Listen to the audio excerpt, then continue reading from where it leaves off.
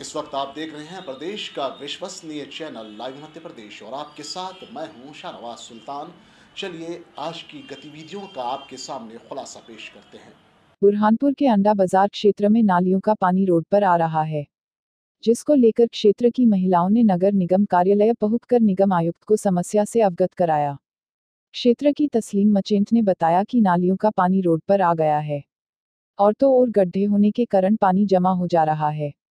जिस कारण आने जाने में काफ़ी परेशानियों का सामना करना पड़ रहा है। यदि निगम द्वारा कोई कार्य नहीं किया जाएगा तो आगे आंदोलन करने की बात कही। ये हमारे अंडा बाज़ार क्षेत्र में बहुत ज़्यादा गंदगी फैली हुई है। वहाँ पर कचरा फैला हुआ है, गड्ढे हैं। गड्ढों में से जो मुर्रम है, वो निकल के नालियों में भर गई है, इसलिए नालियाँ चौक हो गई है। गटर का पानी सारा रोड पर आ गया है।